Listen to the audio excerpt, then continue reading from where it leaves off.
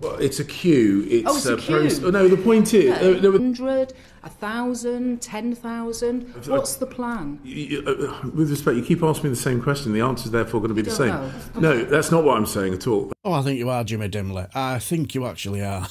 now, this was in the Home Affairs Committee on the 31st of January, where they were scrutinising the work of the Home Secretary, where the legacy backlog and the government's flagship Rwanda bill got a mention. And also, the all important question got asked. Okay, j- just on this 33,085, they are part of the flow backlog or are they a separate backlog? They are part of the 94,000 asylum caseload.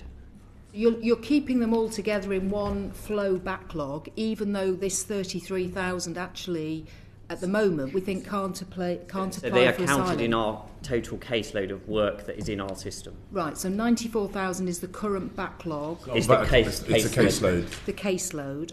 Okay, so that's different from the backlog because It's not. It's not. It, I mean, these are the cases that we're working on. We're working through uh, at the moment. The backlog was. Uh, the backlog was uh, specific. So at the time of the change of legislation, there were a number of outstanding cases. We committed to give an initial decision uh, on those, and with the exception of the small number, which I know the committee has uh, commented upon. Well, that's the legacy backlog. Yeah. Yeah. So you uh, so we put that to one side because you say you've completed that. I know there are some concerns that that isn't the case, but you say they've done that. Yeah. But you've still got a backlog of claims post June 2022. So that is now at 94,000. Is that what you're saying to me?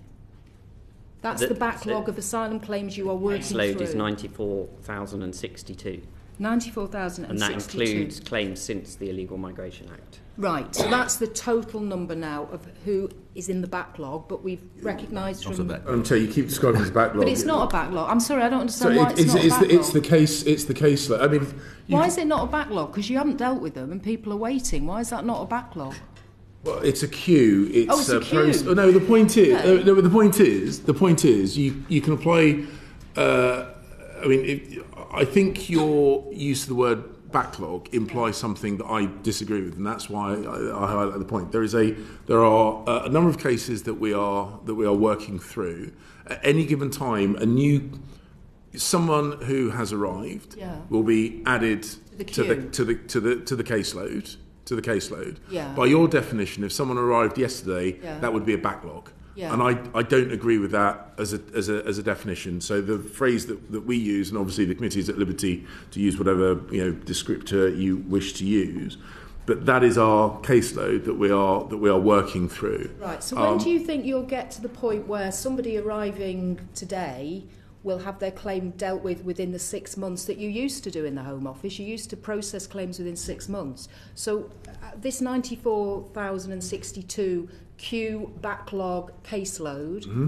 when are you going to get to the point where you're dealing with things quickly and you're not, we're not going to have to talk about backlogs? Well, the I mean, what we saw last year because of uh, an increase in the No, number we of people. understand that. Yeah, no, I don't. I don't. I'm just conscious other people have got questions. I just want to know: Have you got a date in your mind when you will have? It's impossible. Look, it's, it's impossible to give. It's impossible to give Okay. a complete uh, uh, uh, date. But the point is that we... He did it for the legacy backlog. But the, the Prime Minister promised, didn't he, by the end of last year he'd clear the legacy backlog. So I just wondered if you were of a similar mind that you were going to get this... Well, I wanted to do it as soon as... I wanted to do it as, uh, as, uh, as soon as we're able to, yeah. as soon as possible.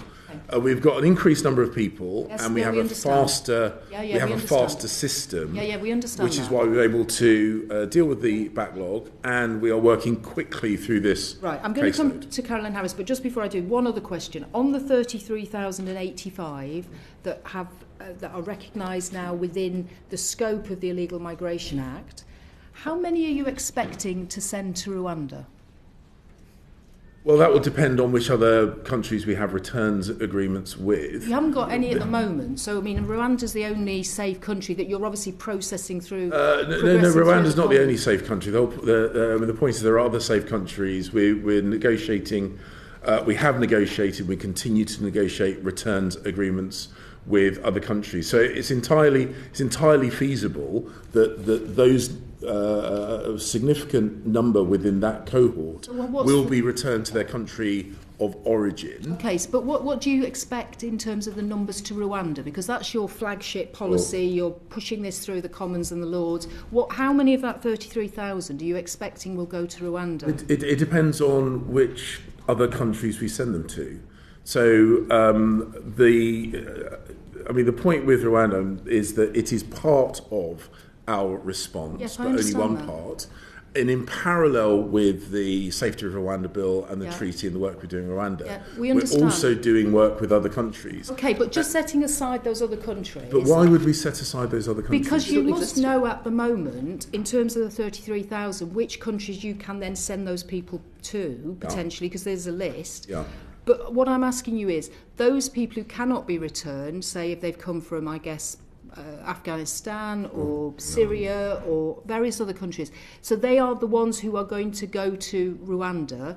Out of that 33,000, how many, when you get that first plane, which you've talked about wanting to take off as soon as possible, how many are you sending to Rwanda of that 33,000? Well, uh, uh, uh, I'm sorry. So, I, so firstly, the uh, the Rwanda scheme is an uncapped scheme. Yes. Um, so there's no inherent upper limit within that cohort Yeah. of who we could send to Rwanda. So how Um, many but- do you think? but again, I, I, it's not a figure I can give you because we are negotiating returns agreements with other countries. As those returns agreements come on stream, the the the number of people who can't be returned to their country of origin will reduce. That will have an impact on the number of people that we might send to Rwanda. So you asked me to you're asking me to, to, to speculate about a figure which which I mean no one can give you that figure because as I say, um, if you'd asked me this before we came to the arrangement with Albania, the answer would be very, very, very different to the point that we now have a returns agreement with Albania. We're working returns agreements with other countries that can have a very significant impact on the quantum of people that we might consider going to Rwanda. And because the Rwanda scheme is uncapped, it, it, I mean, it, these, would, these would be entirely speculative figures. Okay, but uh, with the greatest respect, Home Secretary, you know, Parliament is, is going through the process of putting into place the legislation you need sure. around the Safety of Rwanda Bill. Sure we're told that the government and the prime minister this is a you know they want to get this done yep. i'm assuming that in place are various operational procedures and you're getting people lined up and you've got perhaps an airline because last time minister were here was here we didn't have an airline that could remove people so i'm assuming all this is being planned because yep. you're a department of uh, you know, that has lots of people doing lots of planning. Yeah. So all I'm trying to work out is what is the plan in terms of dealing with this 33,000? What are you expecting? Is it a hundred, a thousand, ten thousand? What's the plan? You- uh, with respect, you keep asking me the same question. The answer is therefore going to be the same. know. No, that's not what I'm saying at all. That's what I'm We're saying. not getting it- an answer. I think that's the problem. you're asking for a figure that no one can provide because it is contingent on other things happening. So, so as so, oh, no, no, You can't answer it if you can't give me no, I am answering. No, I no. I think you're repeating. I understand what you're, saying. You're saying. repeating the question. because I'm not getting the answer, which is No, the answer is move on, I no. think. The answer is it is entirely dependent On on, what other returns. On what other work that we Okay. do. So you're asking me to speculate, but the answer is entirely dependent on other work we're doing in parallel. So it may well be that we, if we if we are successful with returns agreements, if we're able to stabilise.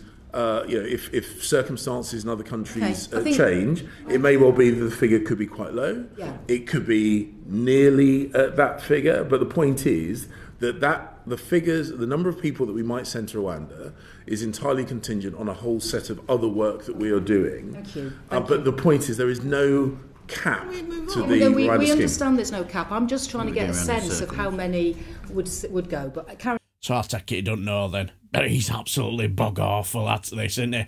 absolutely rubbish. I also think Dame Diana Johnson is really good at making ministers look really stupid as well. Especially when she did the, oh, it's a queue line. Made me chuckle. But what do you guys think? Did our Jimmy Dimley embarrass himself? Is he completely out of his depth? Let me know down below and I shall bid you farewell and take care, my friends.